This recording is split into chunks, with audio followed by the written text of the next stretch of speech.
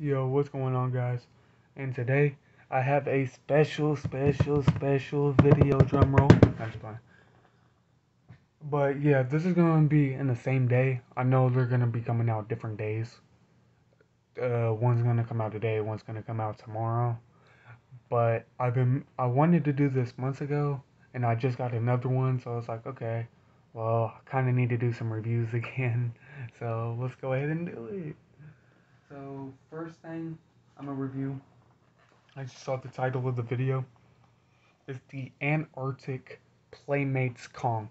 It's actually pretty cool for what you pay for, honestly. I mean, it's the battle damage Kong.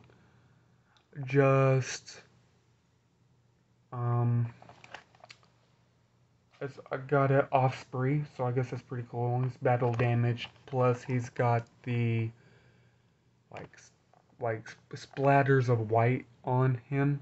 So he's just like the regular one, just with basically white. And that's what he looks like.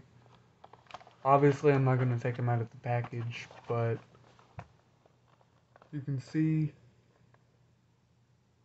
And then you wanted to see this. I know it's going to be flipped around. It says Antarctic Kong with Osprey Monsterverse. I like the Monsterverse logo. I think it's pretty cool. It's pretty neat. Um, really not much to say about it. Um, I'm glad I got it, especially for the price. I mean, you can't beat $10 to get an action figure that's boxed and it's Kong. I mean, Kong isn't my favorite. If y'all know me, y'all seen my reviews.